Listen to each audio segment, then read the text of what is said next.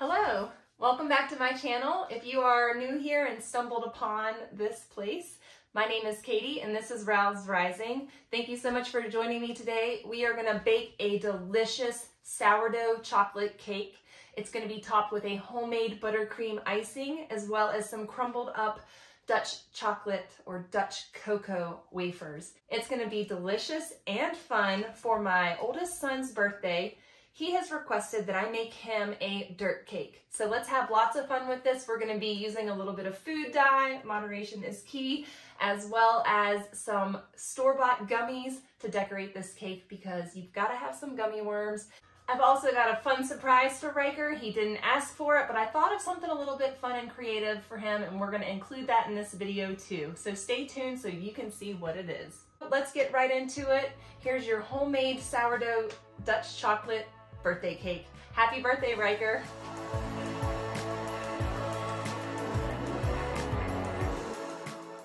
We're going to start this out with a sourdough sponge that I made last night. I just used some starter and some flour and water so that I could get one cup of sourdough starter. I'm going to add one cup of milk to this and I'm going to give it a good stir. And you're going to notice when you are using your sourdough starters like this, they're going to be pretty goopy and gooey and you're going to have to mix for a few minutes to get them well incorporated we are going to add one cup of flour to this and mix it in. And then we're going to add one more cup of flour to this. It's already going to be really thick.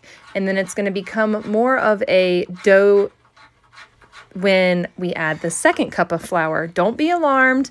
As it ferments, it is going to loosen up. Um, so it's going to ferment and it's all going to mix in beautifully to make the cake batter. And while this sits on the counter for the next few hours, because it does need to ferment, we are going to cover it with a lid and just let it rest here for about two to three hours. And then I'm going to be starting my shortbread, or it's not so much a shortbread, it is a cocoa wafer recipe. These homemade chocolate wafer cookies are easy to make and so much more flavorful than the packaged variety. They're crispy with just a bit of chew, full of cocoa flavor, and have just enough sugar, not too sweet. It can be hard to source store-bought cookie wafers in chocolate flavor. These are great on their own and are versatile enough to go in any baking project. I'm going to start out here with 11 tablespoons of unsalted butter and I'm going to add to that 2 thirds cup of granulated sugar and I'm going to cream this up.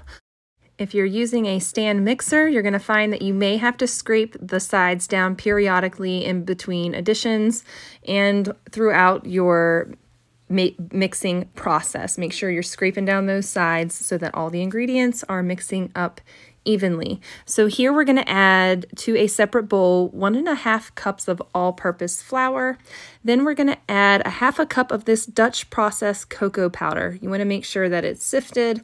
Mine is actually pretty fine already, so I'm not going to need to sift this. And then you want to add half a teaspoon of baking soda and a quarter teaspoon of salt. Here I am using the Redmond's Real Salt. I love using that in all of my baking, cooking, and seasoning applications, as well as some health applications. Once this is all mixed up, I just use the whisk from my mixer. We are going to be adding some vanilla extract, one teaspoon to be exact. I actually just eyeball it and squirt in a little extra, and then I'm adding one large egg yolk. We are going to incorporate this with our sugar and butter and make sure it's all nice and creamy in there before we start adding in our flour mixture. You're going to notice when you start adding your flour mixture to this that it's going to be fairly dry, but we want to be sure that we are continuously scraping down the sides and getting everything incorporated well into this mixture. So so just this is sped up in a time lapse. There is no way that I am adding this flour into this at this speed. I would have a huge cloud of dust in my kitchen. It would cover everything. So this is time lapse just to kind of show you the process and how this incorporates. It is it seems like a dry mixture, but once I turn this off, if I am able to squeeze it together and make a ball of it, then it is well incorporated enough. And I may or may not use all of that flour mixture. I'm pretty sure that I used all of it, but If it were too dry, I might just pop in a little squirt of vanilla in there to try to moisten it up a little bit further, or maybe another teaspoon of butter. But we are going to wrap this up. I have squeezed it together really firmly. I'm going to wrap this up and then pound it on the counter a few times just to try to get it all to stick together really well before I stick it in the refrigerator because I want to be sure that this rolls out well. And you're going to notice when I roll it out and re-refrigerate it before slicing that it is all held together really well. So at first when I roll it out, the sides are breaking, but I keep compressing my dough back to the center. So I'm going to roll it out a little bit and then I'm going to push the sides in and, uh, which I'm not sure if I'm going to show that in this video, but there I go. I'm like pushing the sides in and compressing the dough back together and rolling it some more. And as I do this, it's just to make sure that the dough is pressed well together because as you can see, it's breaking up a little bit as it's rolled, but you just press and squeeze the sides and keep rolling and pressing and squeezing the sides and keep rolling and it will roll out into a beautiful sheet of cookie. It's just not going to do it very you know, it's not going to roll out smooth like butter. It's going to roll out a little chunky and you just rebuild it and re-press it together. It's going to be fine, I promise you, because look at how beautiful it comes out. Here is my flat rolled up cookie dough or rolled out cookie dough, my wafer dough. I realized I needed a bigger pan for it. I'm going to stick this in the refrigerator and let it chill for a little while. And then once it's chilled, I can pull it out of the refrigerator. My oven is preheated at 350 degrees and I am using this little, I guess it's like a lasagna or pasta roller. I'm not sure. I got this in a bag of mixed kitchen items from a thrift store or a yard sale. I don't recall, but it works out perfectly to roll these wafers. And I'm just making them kind of like graham cracker wafers. And in retrospect, if I were to do this for uh, making ice cream sandwiches or something, I would poke holes in them to keep them from bubbling up because I did notice that my wafers bubbled a little bit. That's my baby in the background. So to prevent the bubbling, you can just tap them with a little toothpick, poke a couple holes in it, and bake these in the oven at 350 degrees for 10 minutes. We'll make a chewy cookie and 12 minutes will make a crispier cookie. Here we are back at the mixer and we are going to be combining our ingredients to make this sourdough cake batter. To this stand mixer, we are going to be beating together one and a half cups of granulated sugar, one cup of vegetable oil. You can use melted coconut oil or any oil of your choice, really. Two teaspoons vanilla extract, one teaspoon of salt. We're also going to add in one and a half teaspoons baking soda, three quarters cup of natural cocoa powder. You can use the Dutch processed cocoa powder that I used earlier. Optional, you can do a teaspoon of espresso powder. I'm not going to do that because I don't want to jack my kids all up before bedtime eating this cake. We are going to do two large eggs, and I am also going to be adding in that leftover egg white from the cocoa wafers, the egg white that I did not use in that recipe is going to go into this cake as well. We are scraping down the sides to make sure that our batter is evenly incorporated. And then we're going to gently combine the chocolate mixture with the starter flour milk mixture. And we are going to stir this until it is smooth. This will be a gloopy process at first, but the batter will smooth out as you continue to beat it gently in a 9 by 13 inch pan, we are going to grease this up and I'm going to be using some lard from my pigs, from some pig fat that I rendered down into lard. You can use anything that you want. You can use butter, you can use lard or shortening if you like. I just prefer to use this lard that I have on hand. You can use bacon grease even, and I think that that would add a interesting yet lovely flavor to your sourdough chocolate cake. Into this pan, I'm going to pour this mixture and I'm going to make sure that it's no more than three quarters of the way full. That way it doesn't spill over into my oven. If there's anything extra, you can pour that into a muffin tin and bake that alongside of your cake. I would just decrease the baking time.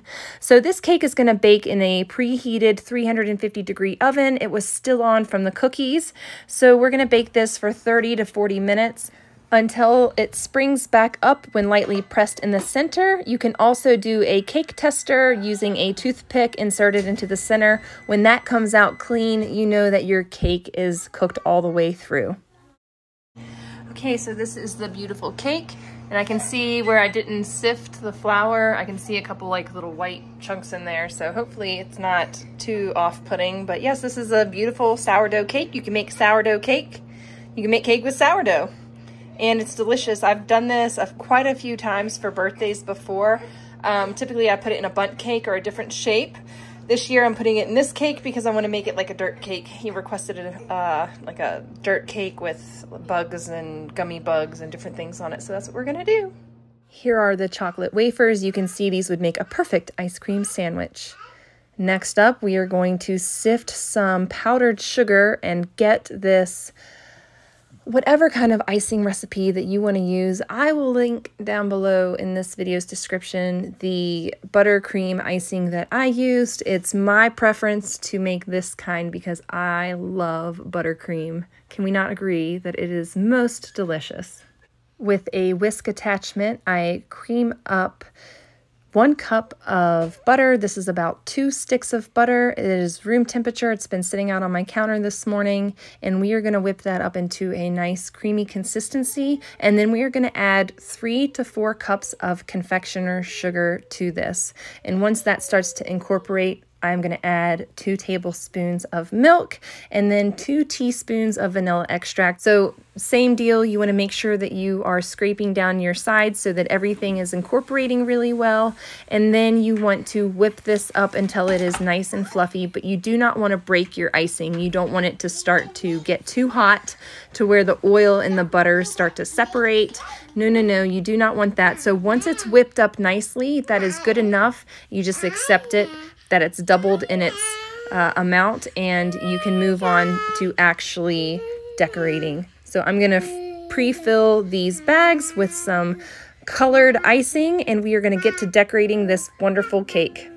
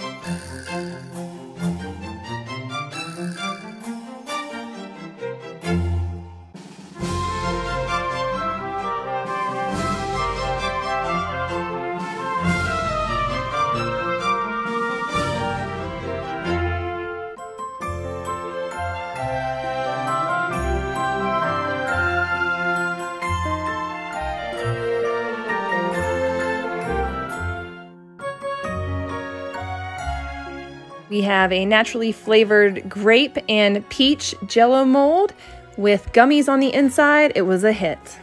I poured in one flavor of jello, added some gummies, let it chill, poured on the second flavor of jello, added gummies, let it chill.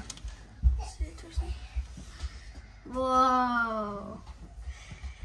That is the best cake. Wait, it actually has gummy Swedish fish and turtles. Wait, and turtles? snakes and a butterfly and a gecko. butterfly? Yeah, and there's even eggs. Butterfly. so cool. I actually got a dirt cake. Thank you so much for joining me. I love having you here. If you want to stick around, click that subscribe button so that you can be a part of the Rowes Rising family. Be sure you give this video a like, that's a thumbs up, and leave a comment down below. What do you think of this cake? Are you gonna try it out? I hope you enjoyed this recipe and hanging out with us in the kitchen. Until next time, bye.